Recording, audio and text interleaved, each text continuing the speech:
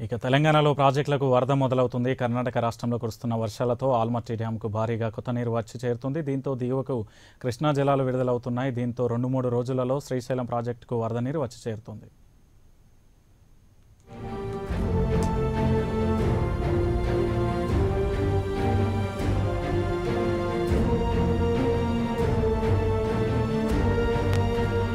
తెలంగాణ రాష్ట్రానికి జలకళ వచ్చింది. ఎగువ ప్రాంతాల నుంచి కృష్ణా జలాల రాక ప్రారంభమయ్యింది. కర్ణాటకలోని ప్రాజెక్టుల గేట్లు ఎత్తివేయడంతో ప్రవాహం దిగువకు చేరుకుంటోంది. మరోవైపు తెలంగాణ రాష్ట్రంలోని జూరాల ప్రాజెక్టు కూడా నిండు దశకు చేరుకోవడంతో ఒకటి రెండు రోజుల్లో శ్రీశైలానికి వరద నీరు వచ్చే అవకాశం ఉంది. ఈ సీజన్లో ఇప్పటి వరకు ఆల్మట్టిలోకి డెబ్బై ఐదు టీఎంసీల కొత్త నీరు వచ్చి చేరుతోంది. ప్రస్తుతం డెబ్బై వేల క్యూసెక్ల ప్రవాహం నమోదైంది. దీని పూర్తి నీటి నిల్వ సామర్థ్యం నూట ఇరవై తొమ్మిది టీఎంసీలు. డ్యాంలో తొంభై ఐదు టీఎంసీల నీరు నిల్వ ఉంది.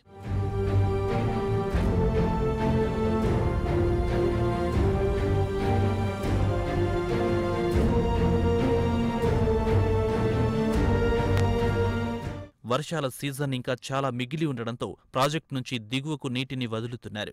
గడిచిన ఇరవై నాలుగు గంటల్లో తొమ్మిది వందల ముప్పై క్యూసెక్ల నీటిని కాల్వల ద్వారా మరో ముప్పై ఐదు వేల క్యూసెక్ల నీటిని పవర్ హౌస్ ద్వారా దిగువకు విడుదల చేశారు. ఈ నీరు నేరుగా దిగువలోని నారాయణపూర్లోకి వస్తోంది. నారాయణపూర్ ప్రాజెక్టు గేట్లను ఎత్తి దిగువకు పదకొండు వేల రెండు వందల నలభై క్యూసెక్ల నీటిని దిగువకు విడుదల చేశారు.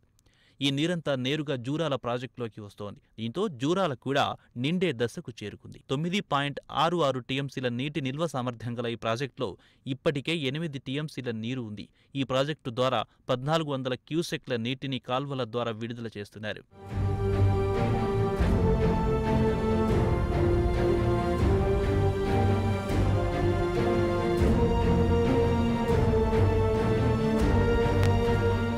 తుంగభద్ర ప్రాజెక్టుకు కూడా వరద వస్తోంది. ఇందులో ఇరవై నాలుగు వేల నాలుగు వందల తొంభై ఏడు టీఎంసీల వరద నమోదైంది.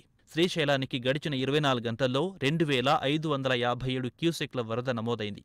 మరోవైపు గోదావరిలోనూ వరద నమోదైంది. ఎగువలోని శ్రీరామ్ సాగర్లోకి పదకొండు వేల క్యూసెక్ల వరద ప్రవాహం నమోదైంది. ఈ ప్రాజెక్టు పూర్తి నీటి నిల్వ సామర్థ్యం తొంభై టీఎంసీలు కాగా ప్రస్తుతం ముప్పై మూడు పాయింట్ ఐదు ఐదు టీఎంసీల నీటి నిల్వ ఉంది. గోదావరి బేసిన్లోని నిజాం సాగర్ సింగూరు కడెం ఎల్లంపల్లిలోకి అయితే దిగువలో ప్రాణహిత కలిసిన తర్వాత అంటే మేడిగడ్డ వద్ద భారీ వరద ప్రవాహం నమోదవుతోంది. ఆదివారం డెబ్బై ఐదు వేల క్యూసెక్లకి పైగా వరద నమోదైంది.